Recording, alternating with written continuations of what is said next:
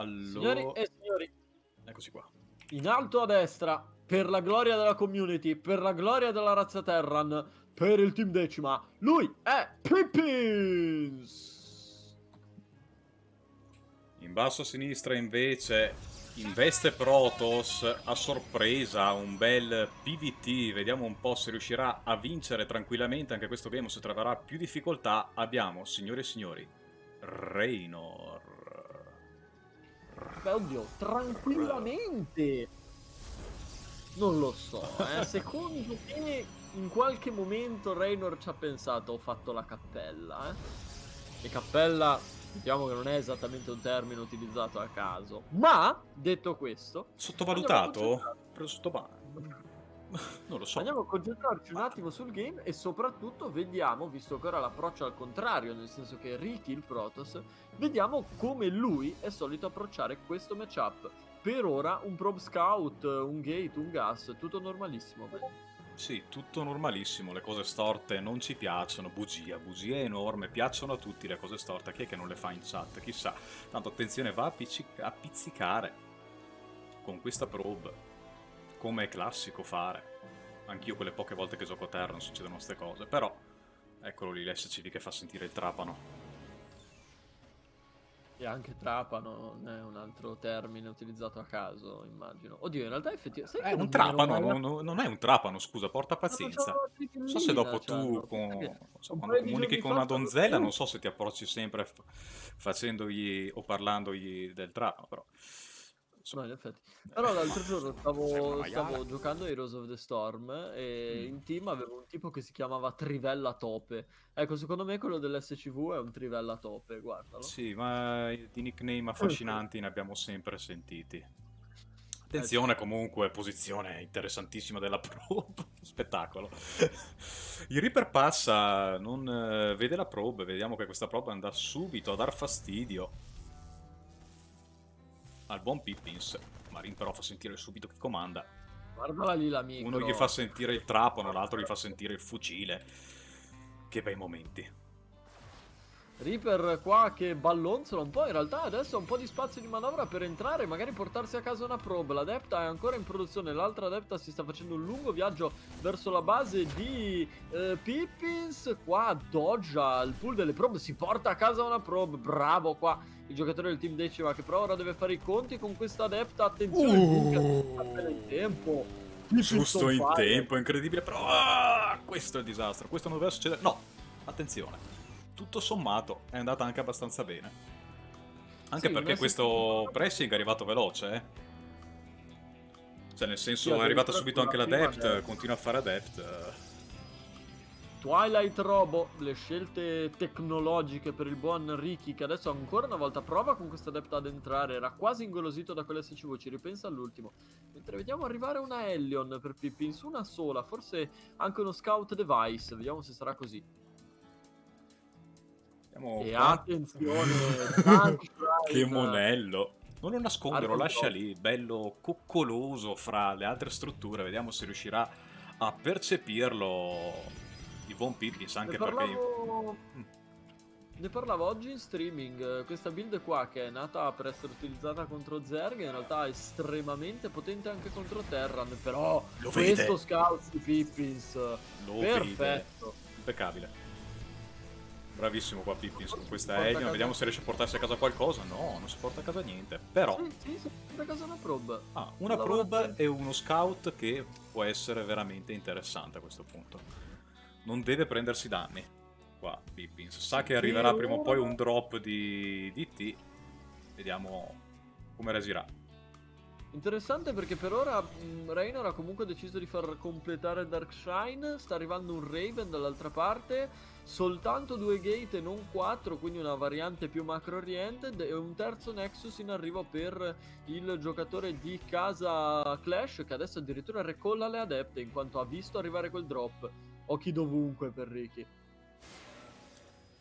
Non c'è però effettivamente controaerea, questa Medivac può fare un po' quello che vuole, dall'altra parte sono in arrivo i primi due DT, viene droppata qua la mina. Scende la mina. No, non esplode perché comunque l'Ops era pronto.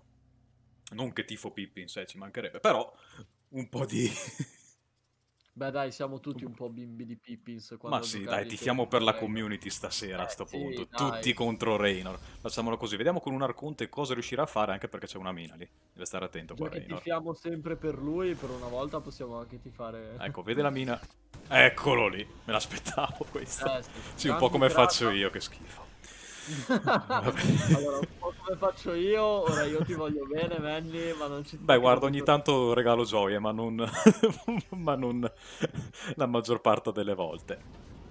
Andiamo Mi a rivedere. sarei aspettato di più il un po' come faccio io quando ho recollato le tre adepte, quello sì. che schifo non parlarmi di recall. Vabbè, comunque, tra recall e arconti droppati, qua, Raynor già con la terza.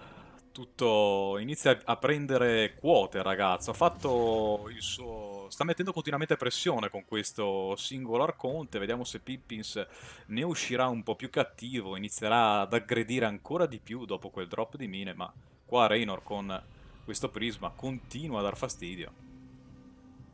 Sì, Pippins eh, si tiene sulla difensiva e mi piace in realtà, nel senso che comunque non ha nulla da temere, soprattutto dopo l'upgrade dei Ghost da un eventuale late game contro eh, l'avversario. Certo è che magari Raynor vuoi provare a batterlo anche con qualche trucco del tuo matchup, eh, considerato che lui sta giocando off race e quindi magari è abituato un po' meno a quelle porcherie da ladder eccetera eccetera, ma l'approccio di Pippins in questo caso è stato completamente onesto, sta giocando una partita perfetta sotto il punto di vista difensivo e molto macro oriented. Stessa cosa in realtà sta facendo poi il suo avversario, per ora solo un po' di light pressure. Mi incuriosisce la comp del giocatore Clash, perché sta andando di e signori. Non una cosa che si vede spesso in questo match.